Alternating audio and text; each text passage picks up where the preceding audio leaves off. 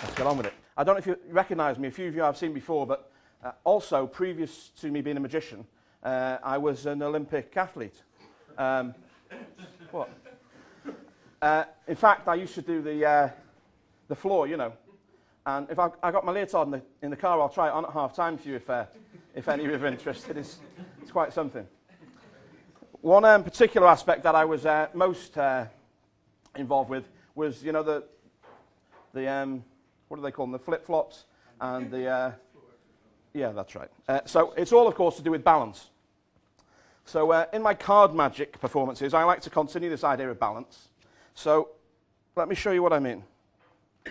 A deck of playing cards, I'd like you to choose for me left or right.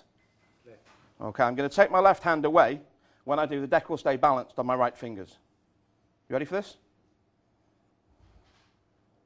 No, that's not what you're thinking, is it? Okay. so listen. Whilst true, uh, not a magic effect. and why? So here we go. Now, at this point in time, you probably want to look underneath, right? So go ahead. There's nothing to see. There's nothing stuck there. There's nothing sticky. Go on, have a look. There's no levers. There's no threads. In fact, I can even take the bottom card out and wave it around, show there's nothing attached to me, nothing attached to the deck. And it is a regular deck. They're not all glued together. You know, it's not one solid block Yeah. or anything like that. Let's try it one more time. I want you to pick any of these fingers. Now, be careful, we're filming this. any of these fingers. Middle one. This one. Okay, you, you, fair, fair enough. I'm going to try and bounce the deck just on that one finger, okay? Here we go.